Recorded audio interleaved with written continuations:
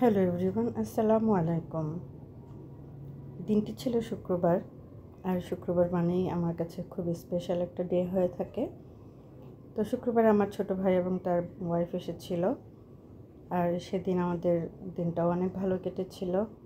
As usual আমাদের শুক্রবারটা খুব ভালোই কাটে, কারণ সবাই আমরা বাসায় থাকি খুবই এনজয় করি সেদিনটা। যেহেতু পুরো সপ্তাহে আমরা অতটা সময় পাই না। মানে আপনাদের ভাইয়া অফিসের কাজে খুব বেঁচে থাকে, বাসায় সে সময় দিতে পারে না।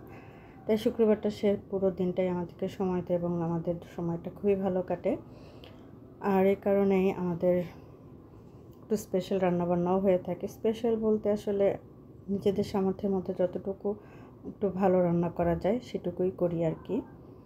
তো যাই হোক, সেদিন আমি রান্না করেছিলাম ইলিশ মাছ। আর ইলিশ মাছ আমার ছেলে রান্না পছন্দ করে না। আমার ভাইও রান্না পছন্দ করে না, তাই তাদের জন্য ইলিশ ভাজা করেছিলাম। আর আমার হাজব্যান্ড আবার ভাজা মাছ খেতে পছন্দ করে না, তো তার জন্য আবার আমি রান্না করেছিলাম। তো এই কারণে দেখা গেছে যে ইলিশ মাছটাকে আমাকে দুই ভাগে রান্না করতে হয়েছে। আর ছিল গরুর মাংস আগের রান্না করা ছিল এবং রোস্টও আগের রান্না করা ছিল। জাস্ট পোলাও রান্না করেছিলাম, ভাত রান্না করেছিলাম, আর ইলিশ মাছটা করেছিলাম। এটাই আমাদের শুক্রবারের মেনু ছিল। আর ভর্তাগুলো তো আমি আগেই করেছিলাম, আপনারা অলরেডি দেখতেই পেয়েছেন। তো প্রথমেই আমি কি করলাম, মাছগুলোকে ভেজে নিলাম, হলুদ, মরিচ এবং লবণ দিয়ে। খুবই অল্প আছে, আমি মাছটাকে ভেজে নিয়েছি। খুব বেশি হিটে ভাজলে দেখা যায় যে মাছের উপরে একটা পড়ে যায়, কিন্তু ভেতরটা একটু নরম থাকে বা কাঁচা কাঁচা থাকে। জন্য আমি একটু লো হিটেই সবসময় যে কোনো মাছ ভেজে থাকি। ইলিশ মাছটা ভাজা হয়ে গেলে আমি তেল সহ ইলিশ মাছটা উঠিয়ে রাখি, কারণ ইলিশ মাছের ভাজার যে তেলটা, সেই তেলটা দিয়ে আমার ভাত খেতে ভীষণই ভালো লাগে। এই জন্য আমি তেলটা এক্সট্রাভাবে বাটিতে তুলে রাখি। তারপরে আমি ইলিশ মাছটা রান্না করে নিয়েছিলাম। সবাই বলে যে ইলিশ মাছে যত কম মশলা দেওয়া যায়, ততটাই ভালো লাগে। আর সে কারণে আমি আজকে খুবই অল্প মশলা দিয়ে মাছটা রান্না করেছিলাম। তো প্রথমে যেটা কাট, করলাম মাছটাকে ভালো করে কেটে ধুয়ে পরিষ্কার করে নিলাম। তারপর একটা প্যানে আমি পেঁয়াজ, তেল দিয়ে দিলাম। তেল দিয়ে আমি পেঁয়াজটাকে একটু ভেজে নিলাম, ভেজে নিয়ে আমি এখানে সামান্য পরিমাণ হলুদ দিয়ে একটু ভেজে নিলাম, তারপরে মরিচ দিয়ে দিলাম, মরিচটাও আমি একটু ভেজে নিলাম, তারপরে লবণ অ্যাড করে দিলাম, লবণটাকেও আমি একটু ভেজে পেঁয়াজের সঙ্গে মিশিয়ে নিলাম, নিয়ে এখন আমি এর সঙ্গে সামান্য পরিমাণ পানি অ্যাড করে দেব।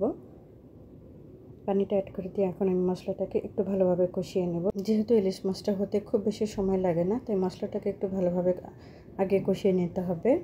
মশলাটা যাতে কাঁচা গন্ধ না আসে এই জন্যই মশলাটাকে আগে খুব ভালোভাবে কষিয়ে নিতে হবে। মশলাটা যখন খুব ভালোভাবে কষানো হয়ে যাবে এবং এভাবে বলক চলে আসবে, ঠিক ওই পর্যায়ে আমি এখানে অ্যাড করে দেব সেই ধুয়ে পরিষ্কার করে রাখা মাছগুলো। আমি এক এক করে সবগুলো মাছই এখানে অ্যাড করে দিচ্ছি। এখন আমি এই মাছটাকে পাঁচ থেকে সাত মিনিট ঢাকনা দিয়ে ঢেকে এভাবেই রান্না হতে দেব। পাঁচ থেকে সাত মিনিট পরে আমি মাছটাকে আবার উল্টে দেব। খুব সাবধানে মাছটাকে উল্টাতে হবে যাতে ভেঙে না যায়। কারণ ইলিশ মাছ খুবই নরম হয়ে থাকে, উল্টাতে গেলেই দেখা যায় যে ভেঙে যায়।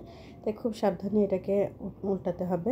এখন এই পিঠও আমি প্রায় সাত আট মিনিট রান্না করে নেব বা কষিয়ে নেব, যেটাই বলি আর কি। মাছটা যখন খুব ভালোভাবে কষানো হয়ে যাবে এবং এভাবে তেল উপরে চলে আসবে, এভাবে আপনি একটু চামিচ না দিয়ে এভাবে পাতিলটাকে ধরে নাড়িয়ে দিতে হবে এবং তারপরে আমি আবারও একটু এক কাপের মতন পানি অ্যাড করে দিলাম। এখন মাছটাকে উল্টে পাল্টে আমি আবারও পাঁচ থেকে ছয় মিনিট রান্না করে নেব। আমার রান্নাটা প্রায় শেষের দিকে।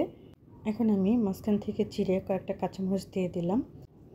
এখন আমি জাস্ট এক থেকে দেড় মিনিট তরকারিটা আরেকটু রান্না করে নেব যাতে কাঁচামরিচের ফ্লেভারটা পুরো তরকারিতে খুব ভালোভাবে মিশে যায়।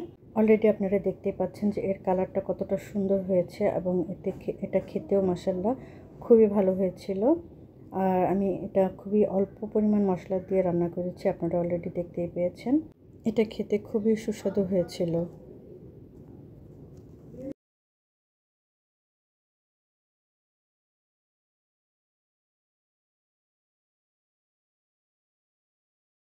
এই হচ্ছে আমার তরকারির ফাইনাল লুক আলহামদুলিল্লাহ এটা দেখতে খুবই সুন্দর হয়েছিল। আর খেতেও সেই রকমই মজা হয়েছিল। সবাই খেয়ে খুবই মজা পেয়েছিল।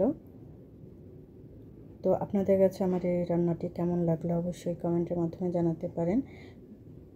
আর এইভাবে রান্না করে খেতে আপনাদের কার কাছে কেমন লাগে সেটাও জানাতে পারেন। আমার তো ভীষণ ভালো লাগে এভাবে রান্না করে খেতে। এই পর্যন্ত যারা আমার সঙ্গে ছিলেন, তাদের সবাইকে অসংখ্য ধন্যবাদ জানিয়ে আজকের মতো এখানে বিদায় নিচ্ছি। সবাই ভালো থাকবেন এবং সুস্থ থাকবেন। আসসালামু আলাইকুম।